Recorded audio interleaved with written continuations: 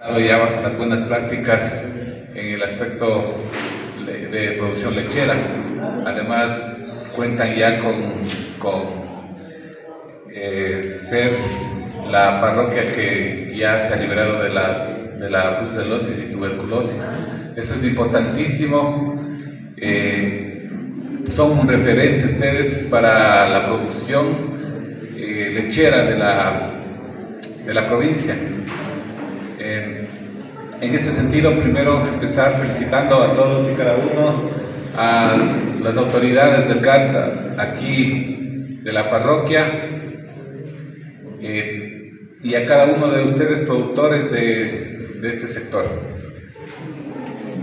Es justamente respaldando esa, ese trabajo bien hecho de parte de los productores principalmente, porque las autoridades podemos estar acá presentes podemos eh, hacer el esfuerzo, pero los que realmente, realmente hacen el trabajo son los somos los productores. Digo somos porque de alguna manera también eh, soy parte del sector productivo, eh, en el sector pecuario también, y por eso me sumo también y puedo decirles con, con conocimiento de causa que somos los productores los que hacemos la diferencia en nuestra producción. Em, entonces, ese trabajo tiene que ser, de alguna manera, seguir siendo apoyado por las autoridades, por las instituciones eh, amigas que están haciendo todo este, este trabajo para seguir impulsando mucho más tecnología en la producción que, que venimos haciendo.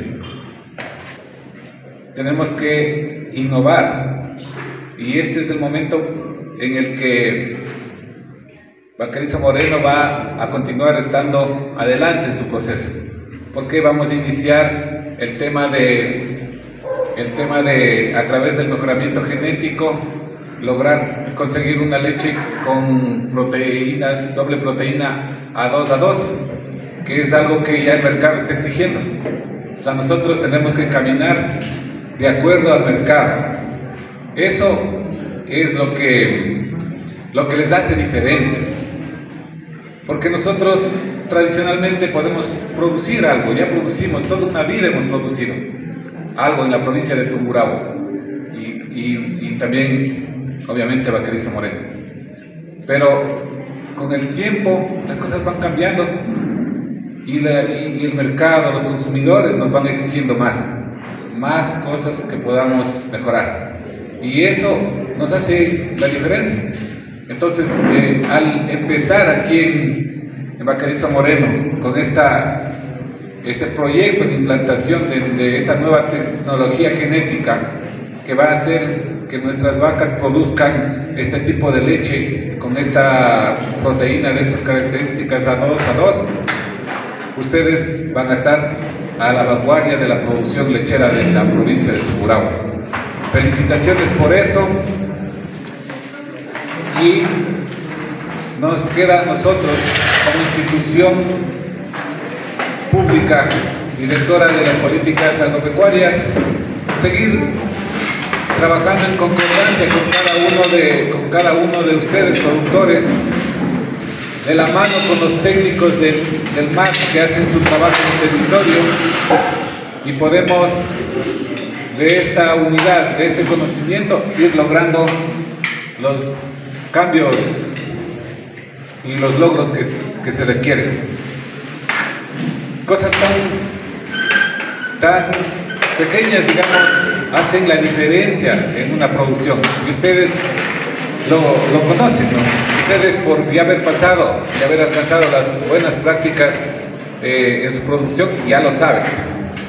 Yo les voy a decir una pequeñita que también nosotros hemos pasado, que es, porque es valorar y dar mucho, mucha importancia también a lo que es la bioseguridad en las granjas, de cualquier tipo de animal. Es importante porque a través de la bioseguridad nuestros animales permanecen sanos.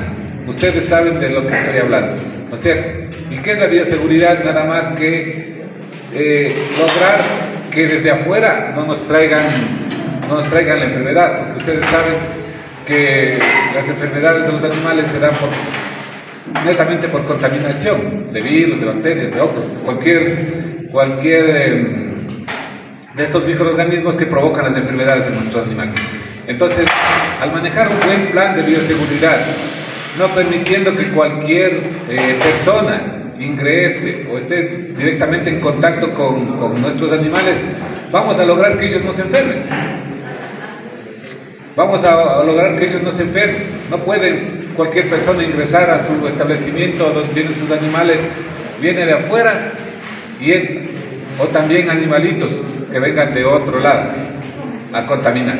Entonces, cosas tan sencillas como esas nos hacen ahorrar dinero porque finalmente no vamos a tener que comprar antibióticos, porque al, comprar antibióticos ingresamos en nuestros animales, eh, la leche se daña, el costo económico, los animales dejan de producir, o sea, tenemos un sinnúmero de cosas que podemos evitar con esas buenas prácticas y con esa bioseguridad que también es parte de las buenas prácticas, eh, en este caso pecuarias.